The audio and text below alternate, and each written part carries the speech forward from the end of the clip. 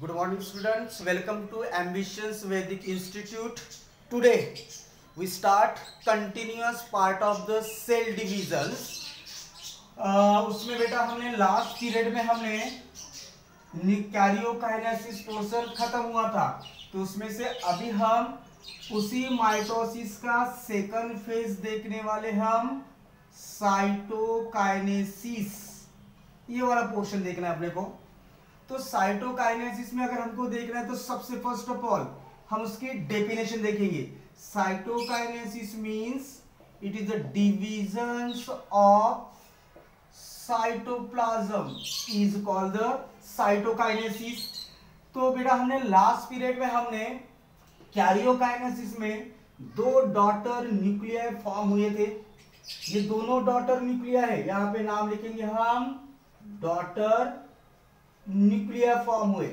लेकिन जब daughter nuclear तैयार हुई न्यूक्लियस का ऑलमोस्ट पूरा का पूरा डिवीज़न हो चुका है अभी इस न्यूक्लियस को सराउंडेड रहता है ये साइटोप्लाज्म जब तक कि ये साइटोप्लाज्म का डिवीज़न नहीं होगा, तब तक कि ये दोनों डॉटर न्यूक्लियर सेपरेट नहीं होता है, क्योंकि इस डॉटर न्यूक्लियस को सराउंडेड होता है प्लाज्मा मेम्ब्रेन है ये।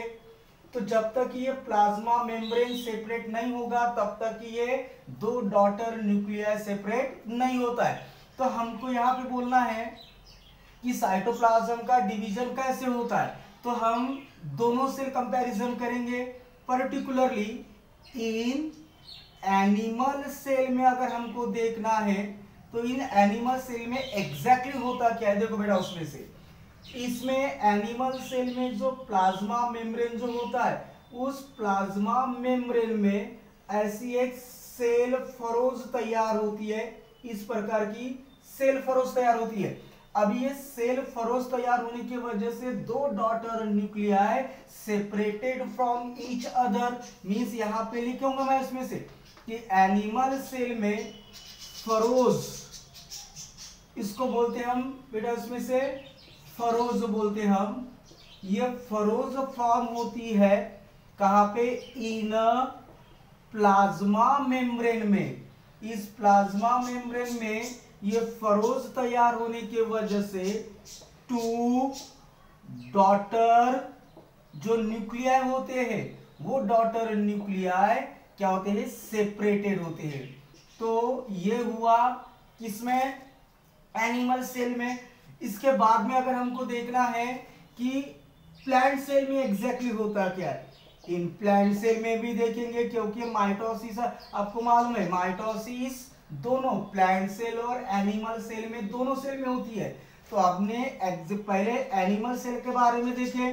अभी हम प्लांट सेल के बारे में अगर हमको देखना है तो प्लांट सेल में अगर देखेंगे तो जो प्लाज्मा मेम्ब्रेन होता है, इस प्लाज्मा मेम्ब्रेन के बीच में बेटा ऐसी सेल प्लेट तैयार होती है। इसमें लिखूँगा मैं, सेल प्लेट तैयार हुई। इधर देखो उसमें से प्लांट सेल को नाम लिखूँगा मैं ऐसी, सेल प्लेट।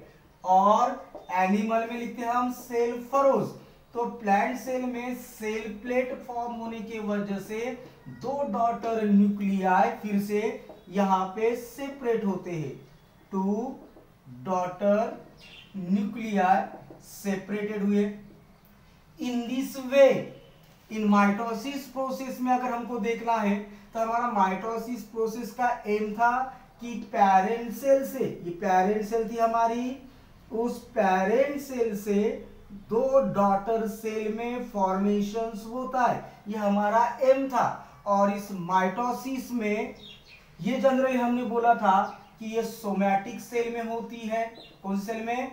सोमैटिक सेल में, जो रिप्रोडक्टिव ऑर्गन को छोड़ के हमारे जितने भी रिप्रोडक्टिव ऑर्गन है, जैसे प्लांट में अगर हम देखेंगे तो फ्लावर को छोड़ के अगर हम एनिमल में देखेंगे तो टेस्टीज ठीक है ओवरी को छोड़ के ये सोमैटिक सेल होते हैं, उसमें साइट कौन सी प्रोसेस होती है माइटोसिस तो बेटा, ये हमारा माइटोसिस में दो डॉटर न्यूक्लियर फॉर्म होते हैं, हमको पता चला।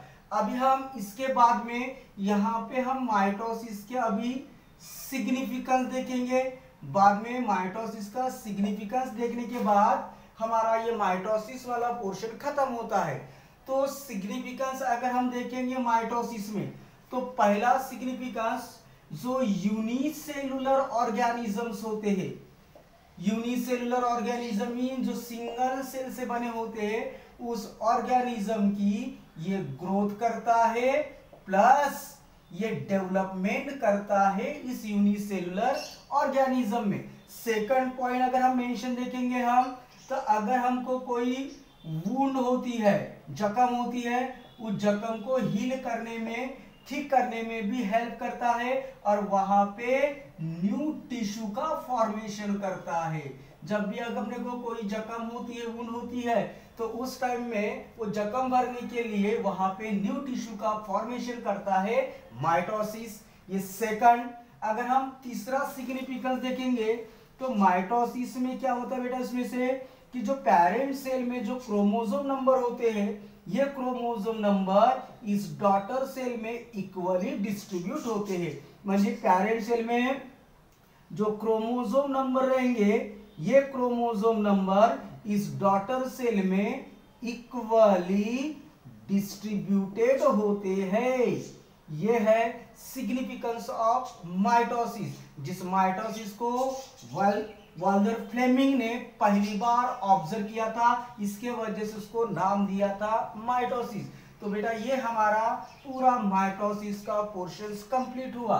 अभी हम सेल डिवीज़न का नेक्स्ट टॉपिक देखने वाले हैं मियोसिस और वो मियोसिस हम अगले वीडियो में उसको लर्न करेंगे।